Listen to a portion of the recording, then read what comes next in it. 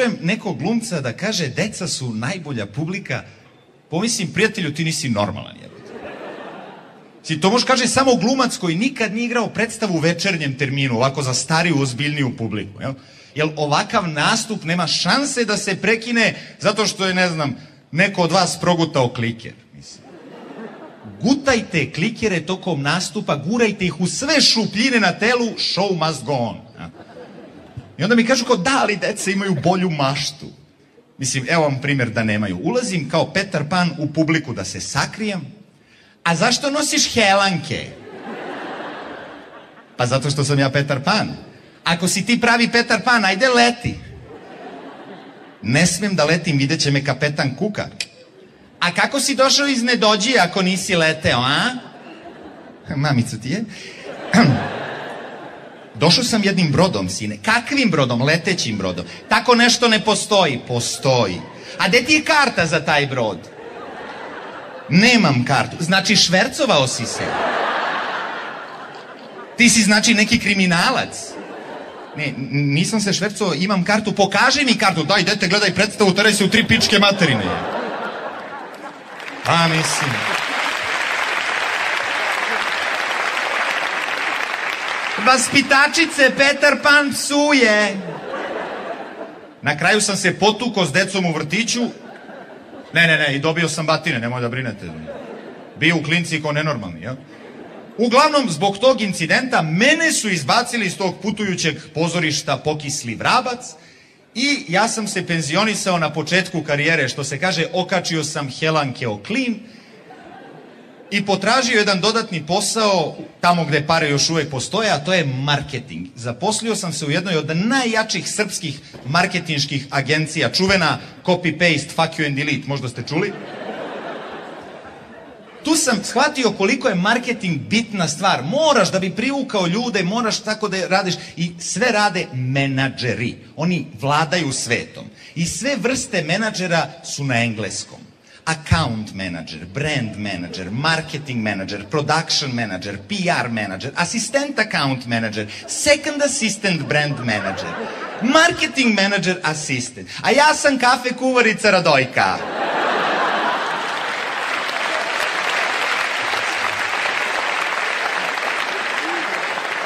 pardon, catering manager. Sad, moj posao je bio da pišem reklame, znaš, i provalio sam kako se reklame pišu, što gluplje, to skuplje, jel? I imali smo jednog klijenta, proizvodi neku hemikaliju koju on zove sok. Ono, boja, šećer, emulgator, voda. Sok za goste, što bi rekli domaćini, jel? Pa mislim, ko će svojima da daje taj otrov, jel? Uglavnom, hoće čovek reklamu, ne pita šta košta, samo da ubedimo ljude da je to zdrav i prirodan napitak. I tu ja stupam na scenu. Kakav naziv dati nečemu od čega svetliš u mraku ako popiješ previše? Nameće se ime Sokić Zdravko. Od najboljih plodova prirode to staviš krupno napred, a po zadnji sitnim, najsitnijim slovima nabrojiš sve one e-svinjarije koje zdravka čine neodoljivim. Ja? Onda treba odrediti ciljnu grupu. Znaš, čim pogledaš onako sok, shvatiš ciljna grupa sirotinja. Podvrsta seljak. I odmah gađaš tu psihologiju. Pakovanje od dve litre, idealno za svadbe i velika veselja. Hvala. Sljedeća stvar je koga uzeti za zaštitno lice. Sad pazi, to mora da bude neko koga vole i seljaci i urbana sirotinja. Nikola Tesla. Pazi koliko je to genijalno. M ne može da nam otkaže saradnju, M ga ne plaćamo, ne može da nas zajebava na snimanju, M je Srbin, školu učio u, u Sloveniji, tamo i kurve jurio, M je iz Hrvatske, znači pokrivamo sva tržišta, znate ga brate i vi, sve smo pokrili. Pa da znam, ali Tesla je mrtav, kako da ga snimamo? Animacija! Uzmemo njegov lik s novčanice od 100 dinara, taman toliko i košta sok, i odmah idemo na scenario. Scenario mora da pokrije sve ukuse. Naprimjer, Tesla vozi traktor, jednom rukom vozi, drugom pije onog zdravka, prolazi pored neke mlade ribe, naći neku manekijenku, ali da ne bude, nego da ima... a da opet izgleda pametno. Stavit ćemo i naočare s dioptrijom, to rešava problem pameti. Odlično. Dobro, znači Tesla prolazi pored manekenke, muva je, ono, klasično Teslino muvanje, gura sjelicu usta, sjelica svetli. Ribica se kikoće, ki, ki, ki, ki, ki, ki. Brza montaža, svadba. Na svadbi svi viđeni ljudi tog vremena. Thomas Edison, Charlie Chaplin, Ray Charles, Yuri Gagarin i svi loču zdravka. Tesla i manekenka dobijaju dete, mali ništa ne jede, pije onog zdravka, raste, raste, raste, Tesla ore, muzika mora da bude recimo neki narodnjak, ali sa elementima heavy metala, bam, flaša eksplodira, slogan Zdravko, da mladenci budu zdravi dok se beba pravi. To je mozak.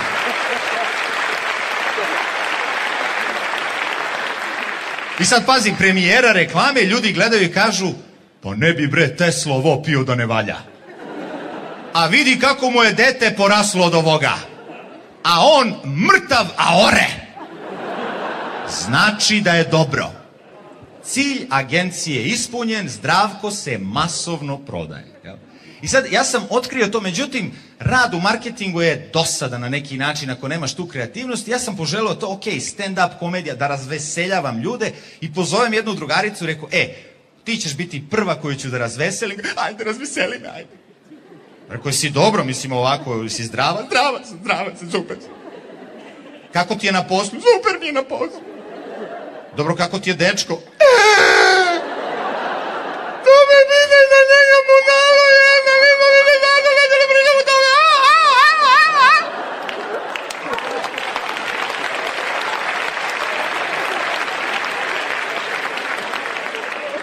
Molim? Nismo više zajedno. Ne želim da pričam o tome. Samo ću ti reći da je on meni rekao da sam ja histerična. Jer ti misliš da sam ja histerična? Ne, rekao, ne, ne, ne. Ti si sve samo ne histerična. Hoćeš da popiješ nešto? Šta imaš? Pa imam pivo, imam rakiju, imam nešto za smirenje, možda neki šamar da popiješ, to bi ti prijalo u pičku, mater. Neću, neću ništa da popijem, neću. I rekao mi je da sam ja neodlučna. Ja. Daj mi, molim te, jedan viski, ne daj mi rakiju, daj mi pivo, daj mi, daj mi nešto za smirenje, daj mi, daj mi. Ko smiri se, molim te, ispričaj mi sve šta ti se dogodilo. Ono, hoćeš da ti ispričam onako baš od početka. Rekao, samo udri. U redu. U početku je veliki prasak u kosmosu stvorio užarenu loptu koju zovemo planeta Zemlja. Ona se hladila tako što...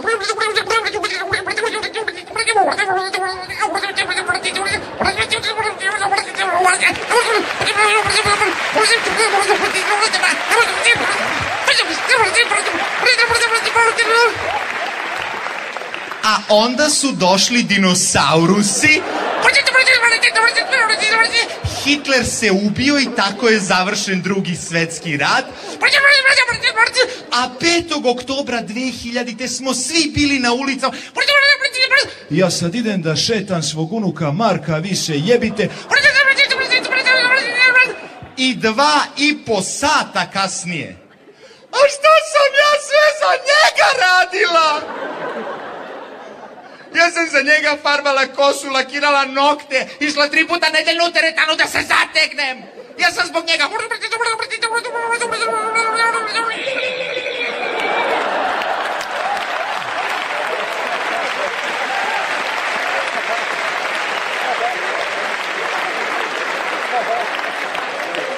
I rekla sam mu, ovo sam samo tebi uradila. Čupala sam obrve zbog njega, depilirala sam se zbog njega. Čekaj, rekao, ide u pičku, ma depilirala si se zbog, to si radila zbog se. Nisam, ja sam sve to radila zbog njega, on to voli da nema ništa. Rekao, čekaj. To je zamena teza, to je, šta to znači? Da nema njega, ti bi leti išla ulicom dlakava kao kivi. To je rekao isto kao kad bi on tebi rekao, znaš, spavao sam s tvojom najboljom drugaricom zbog tebe. Da ti vidiš kakva je to kurvetina. Spavao je s mojom najboljom drugarima. Rekao, nije, samo kažem, zamisli. Mada je spavao s tvojom sestrom, ali to nisi čulo od mene. Ja, on mora da zna da sam ja lepa, da sam ja pametna i osjećajna. Rekao, čekaj, pusti njega da zaključi da si lepa i pametna. Simpatična jesi, budi zadovoljna time što imaš. To je moja životna filozofija. Nemoj da tražiš od života više, jel? Mislim, to je problem koji imaju sve ove zgodne ribe koje se slikaju polugole za ove Playboy, FHM, CHF, ŠP časopise. Znate na što mi... Ne, imaš savršeno žensko telo, vidimo ga na slikama, te slike za mene imaju određenu vrednost. Međutim, već na sljedećoj strani ono što umanji vrednost tim slikama, a to je intervju umetnice sa slike. Zašto pokušava da bude i pametna? Studiram menadžment. Nemoj da pričaš.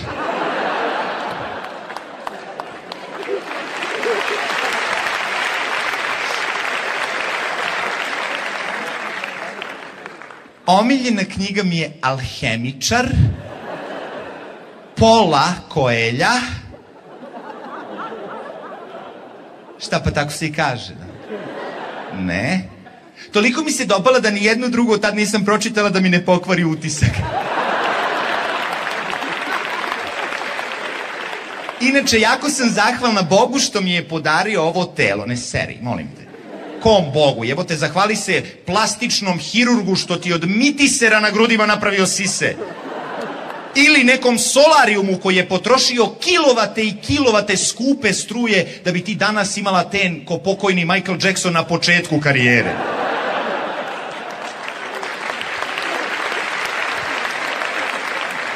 Znaš, u slobodno vreme uzmem dva ogled pa proučavam svemir. Ko tebi traži da odgonetneš crne rupe, lutko? Drž se tih rupa koje smo vidjeli na slikama, to nas zanima. Niko ne ide u WC s tvojom diplomom, nego s tvojim slikama. Znaš, crne rupe ostavi Stevenu Hawkingu, on se ne bi mešao u tvoj posao, ne bi se sliko za Playboy. Hoću da kažem, suština je, nikom se ne diže na stepen stručne spreme. Pa jeste, ne znam.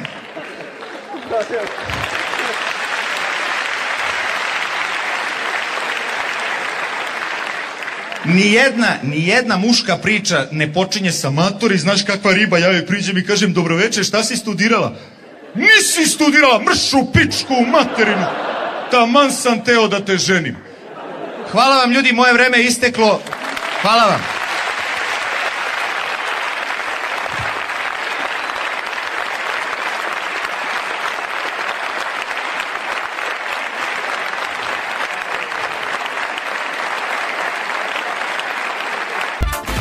Skoplje, Skopam.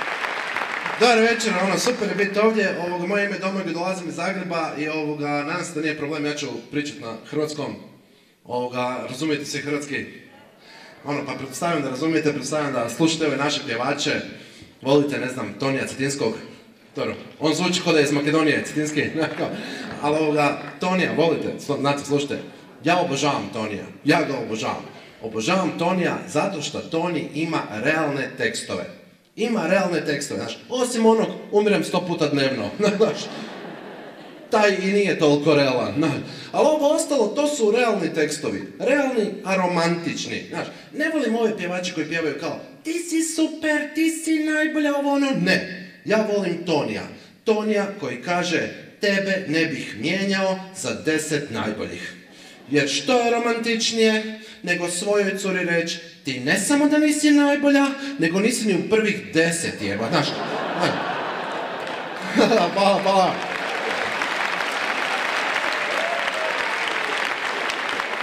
To kod svake prođe. Ne, ovoga isto, moram, moram se ispričati, ovoga, nastupam u kapi, nastupam u kapi jer imam užasno ružnu frizuru, imam užasno ružnu frizuru jer ne volim ići kod frizera, ne volim ići kod frizera zbog onog jednog te istog debilnog pitanja koje ti postave svaki put kad uđeš nutra, kao, hoćemo malo vrhove skratit. Rekao, ne, sredinu mi izreži, znaš ono. Pa ću se ja vrhove sam doma zalijepiti, jeba, znaš ono. Ne, ovoga, tu kod vas je proljeće, super vam je vrijeme, ovoga, kod nas je hladno, zima, snijeg je sve zatrpo i ovoga, ne znam kak je kod vas, kod nas svake godine kad padne snijeg, iznenadi zimsku službu. Znači, ko bi ga očekivao u prvom mjesecu, je, ono. I ono, padne snijeg, zatrpa sve ceste i sjedim doma za kompjuterom i na nekom portalu mi skoči vijest i kaže snijeg je zatrpao sve ceste u Hrvatskoj, zatrpao je autoput Zagreb-Beograd, putnici u autobusima stoje već dva sata, ponestaje im hrane. Dva sata jebote, znači ono, i njima ponestaje hrane, znači, znači još je ima, nije skroz nestala, jebote, znači, mislim si ono, gledao sam onaj film, onaj film o južnoameričkim ragbijašima koji putuju po Južnoj Americi i onda se u jednom trenutku avion zapio u vrh planine i onda oni gore na ne znam koliko tisuća metara gore na ledu i snijegu preživljavaju. Njima je trebalo dva tjedna da počnu jest mrtve. Kod nas nakon dva sata po autobusu gledaju ko je boležljiv jebote, znaš, ono s kim si ti buco jebote, znaš, dva sata stojimo jebote, znaš. Mislim, Sad kad smo putovali ovoga, ono, išli smo isto autobusom jer je ono kao bilo nekakva opasnost od snijega, s obzirom da sam ja bucao, ono, ponio sam svima u autobusu sendviče, ono, neću riskirati, jebate, ono. Da, ovoga isto ne znam, znate sigurno da je Hrvatska nedavno ušla u Europsku uniju. Ovoga, ja sam bio, na referendumu sam bio protiv ulaska u Europsku uniju i znam zašto sam bio protiv, imam razloga zašto sam protiv. Međutim, nas koji smo bili protiv Europske unije su za vrijeme referenduma zvali euroskepticima. I onak mislim si ono, uopće nisam skeptičan, znači ono, znam zašto ne želim ući u Europsku uniju. Mislim, šta je to? Ako ne želim pojest govno na cesti, jel to znači da sam govno skeptik? Izmetofobi jebo, znaš ono, daj mu šansu jebo, znaš ono. Ne, ali ono isto, ovoga, super mi je bilo kad je Slovenija ušla u Europsku uniju, onda su oni zaštitili ajvar kao autohtoni slovenski proizvod. To što paprike, paprike ne rastu u Sloveniji nema veze, jebo. Oni su zaštitili ajvar, jebote. Rekao, je prekasno da mi zaštitimo kung bao tofu, jebote. Znači ono, kad već zaštićujemo autohtone proizvode, jebote. Ne, ovoga isto, uh, kod nas imamo nekakve nove propise u Hrvatskoj, ne znam je li isto kod vas, kod nas se seks u javnosti kažnjava s 5000 kuna kazne, ako vas uhvate na cesti da se seksite, platit ćete 5000 kuna kazne. A ako vas uhvate da urinirate na cesti, platit ćete 2000 kuna kazne. I ono što mene zanima, šta ako za vrijeme seksa u javnosti dođe do zlatnog tuša? Znaš što? Jel se to uračunava u prvu cijenu, znaš? Ili mi se zbraja? I ono, hvala, hvala. Hvala, hvala. I kao, imamo nekakav propis da ako me susjed vidi kroz prozor da se ja seksam jer nisam navukao zastore, platit ću 5000 kuna. To što on mene gleda kroz prozor dok se ja seksam, to je normalno jeba. on ne mora ništa platiti jeba. Ne, ono isto super mi je kao, platit ću 5000 kuna za seks u javnosti, ako me uhvate, znaš. Nije dovoljno što već i seks plaćam. Nego još i kaznu da vam platim, jebo, znaš, da.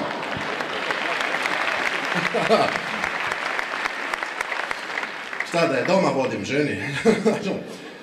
ne ovoga, isto ono, užasno me, živciraju me glupe stvari i vidim neki dan hodam po Zagrebu i na stupu stoji komad papira koji je oglas i na tom komadu papira piše band traži bubnjara s opremom i prostorom za sviranje, gitaristu i basistu.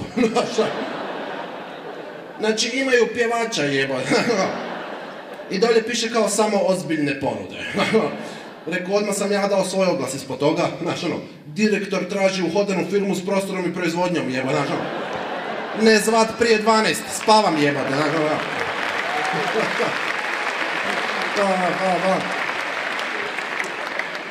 Ne, ali isto ono što mi užasno ide na živce su ono nepotrebni glupi savjeti. Ovoga, čitam na, na internetu kao savjete kako doći na razgovor za posao i kaže kao na razgovor za posao ne smijete doći pijani i ne smijete dovest mamu.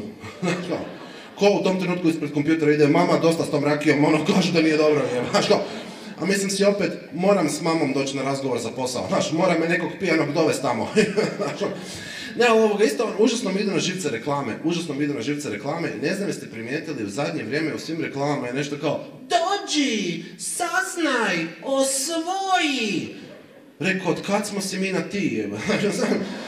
Rekao, znam da puno gledam televiziju, nismo mi skupa ovce pasli, znaš, šta je to, ono. I sve reklame su za neke super revolucionarne proizvode, sve nešto super novo i revolucionarno. Imamo nevjerovatno novu zubnu pastu, nevjerovatnih sedam u jedan. Znaš, to je potpuno nova zubna pasta, potpuno drugačija od zubne paste prije, to je zubna pasta koja čisti zube, štiti zube, osvježava dah, spriječava karijes, potiče tamo nešto takvih sedam. Rekao, pa kad ste već sedam u jedan napravili, mogli ste i osam u jedan. Znaš, on, čisti, štitio se, žal, sprečava, potiče i kad pljunem to na suđe, da mi suđe odmah opere. Znaš, on,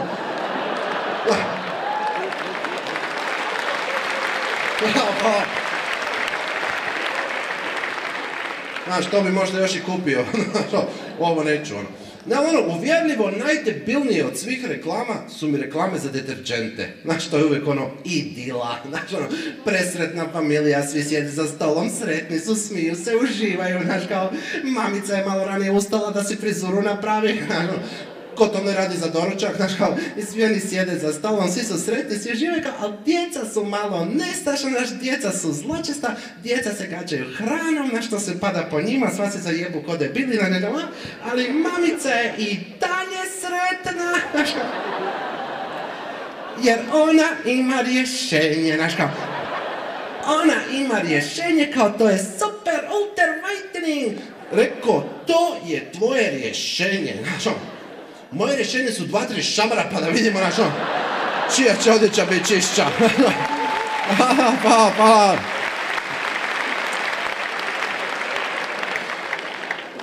Volim kad ljudi plješi na zostavljanje djece.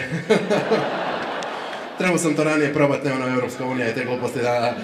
Ne, ovoga, isto, na, na šta mi nije jasno? Nije, nije mi jasno ono, ono, onaj TV prodaje, onaj top shop, ono, ko tamo kupuje, imate to, gledate to, ono, mislim, meni nije jasno, ko tamo kupuje? Mislim, ono, ja kad to gledam, mene to vrijeđa, ono, mene to ponižava, ono, sve reklame su iste, identične, znaš, uvijek dođe neki tip i događa li se ovo i vama, znaš, to, i onda on ide rezat kruh, znaš, ali ga ne reže, nego ga bode, jebote, trga, lupa, znaš, on neće, ne znam, šta ovi stari noževi ništa ne valjaju, pić, znaš, ko u tom trenutku ispred televizora ide, meni se to događa, znaš, da, ja tak režem kruh, ga pikam ga dok se ne raspadne, jebote, znaš, kao, ono, ali oni imaju rješenje i za to, naš, oni imaju savršeno novo, revolucionarno rješenje, naš novi set noževa koji reže u kruh, ako ga normalno držite i normalno režete, jeba, znaš, nevjerojatno kakav izum, za Nobelovu nagradu jeba, znaš.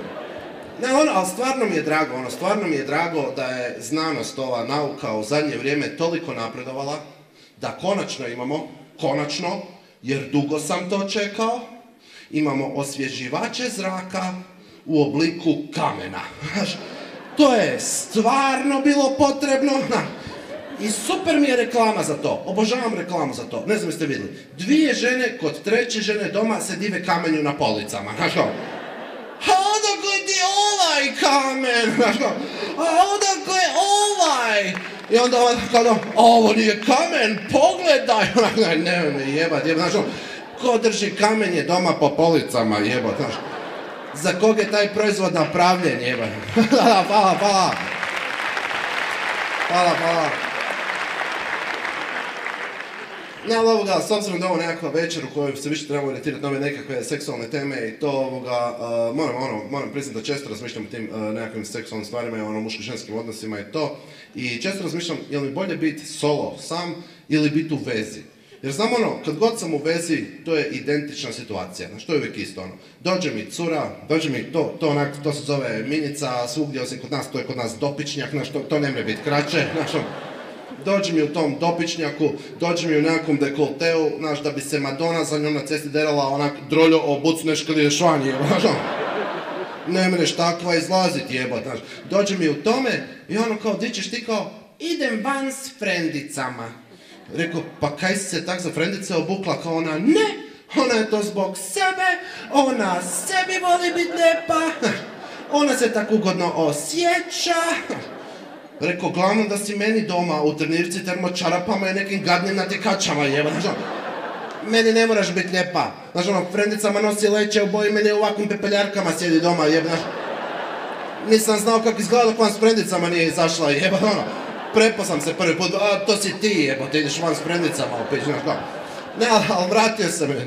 hvala, hvala, hvala. Hvala, hvala. Ne, vratio sam je, ono, svaki put pitalo me kam idem. Rekao bi idem van s frendovima, a isto, širo sam se prije. Ono, nek se ona malo grize, znaš, ono.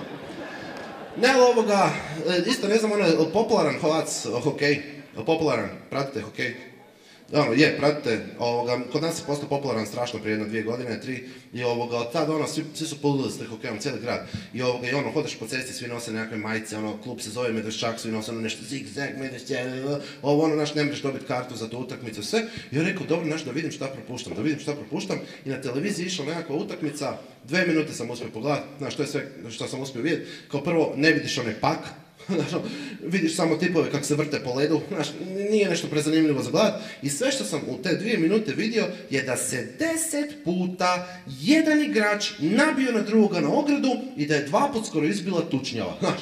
I rekao, dobro, zašto su oni tako agresivni, znaš, ono, zašto se stalno tuku? I veli mi prijatelj kao, šta zašto se stalno tuku? Ono, pa to je muška igra, muški sport, onak muški, na klizaljkama, je, znaš, ono, znaš, nije ni čudo da su isfrustrirani.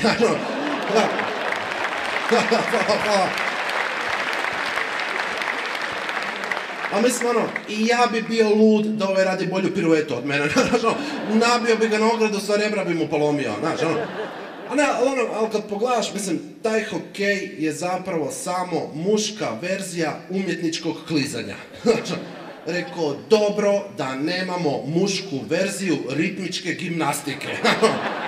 Na šta bi to ličilo, jeba, znaš, dođe onaj frajer, baci onu lopticu, znaš, zavrti onu špagicu i ubije nekog, jeba, ono. ovo ostalo bi bilo gej, jeba, znaš, ono. Da, ali stvarno kad pogledaš, što su ljudi gluplje obučeni i što su sami sportovi gluplji, to su i posljedice gore. On, pogled Matadore, tipovi u rozim štramplicama kolju bika. Znaš, kao, kao šta radite? Što što radimo? Koljimo bika, burac, pa nismo se bez veze ko pederi obukli, jeba. Znaš, kao. Hvala, hvala.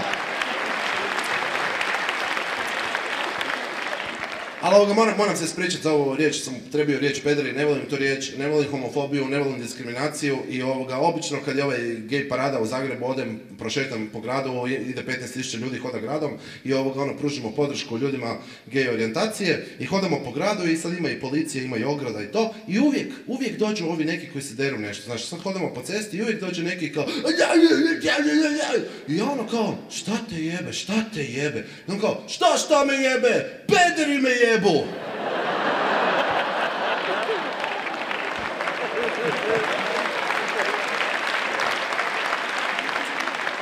Rekao, frende, s krive strane ograde si jebo. Neš si pobrko, znaš. Ne, ovoga, ne znam ovoga, ali neko bio u zadnje vrijeme u Zagrebu, od vas je bio neko, ovoga, mislim, niste puno propustili ako niste bili, znaš, ovoga. Ali ovoga, prošle godine je u Zagrebu, uh, tijekom, ne znam, nekako, pobjegao iz ludnice jedan luđak, ono, prije toga je bio beskućnik. I dok je bio beskućnik, je izbo nekakvog čovjeka nožem na smrt, kao. I pobjegao je iz ludnice, jer mislim, zašto bi ga pazili. Rekao je da neće bježati, znaš, mislim, ono, kome ćeš vjerovat ako nećeš vjerovat beskućniku u ubojici, znaš ga. I on im pobjegne iz zatvora i cijeli taj dan nas policija preko svih medija upozorava da je iznimno opasan duševni bolesnik pobjegao na slobodu, da svi moramo biti na oprezu, da ga moramo prijaviti čim ga vidimo, ali oni ne smiju objaviti njegovu fotografiju zbog povrede njegovih ljudskih prava. Znaš, rekao, stvarno mi je stalo do njegovih ljudskih prava, znaš, a vjerujem da bi i on poludio, naš, da sazna da su objavili fotografiju, znaš. A s druge strane si mislim, kak točno da ga prijavim, jebo, znaš, ono. Ako ste bili u Zagrebu, vidjeli ste ljude kak izgledaju. Cijeli dan sam bio na telefonu, jebo, znaš, ono. Samo iz tramvaja sam četvoricu prijavio, jebo, znaš, ono. Uključujući i vozača, ono. Društvo, hvala puno, to je bilo sve od mene. Hvala puno, bez se sobe povuka, vidimo se, čao, bok!